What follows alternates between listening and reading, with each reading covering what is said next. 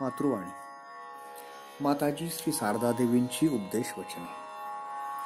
माताजी मन स्वभावतःच चंचल असते.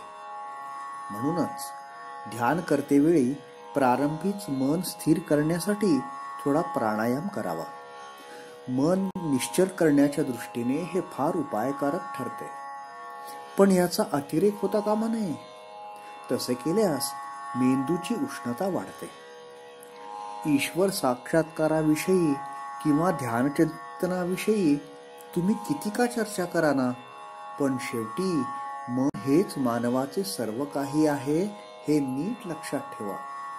मन स्थिर होताच सगळे काही प्राप्त होते. जय मा जय मा जय मा.